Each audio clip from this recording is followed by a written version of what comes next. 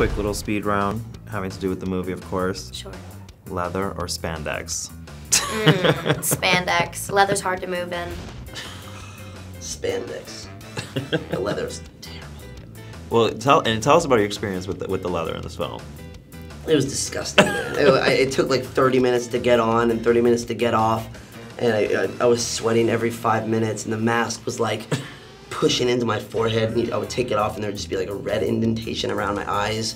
It was, I think, I think I had like a non-stop headache for this whole movie. I guess I'm. I guess I've got to be the spandex, considering Chris is leather. So, um, but Weapons neither really. Weapons or bare hands? In what sense? Fighting. When it comes to fighting. Go bare hand, man. You're a man. You don't need weapons. You do that with your fists. Well, hopefully you don't. You can just do it with your words and you know solve all your issues. That's how I choose because I can't fight. Bare hands. Bare hands. Favorite superhero from childhood? Wolverine. Wolverine was my favorite. Iron Man was my brother's. My dad was a really good artist, and he drew a huge Iron Man on my brother's wall, like a mural. And I was the second child. I was like, Dad, paint me a Wolverine. He's like, I'll get to it. I'll get to it.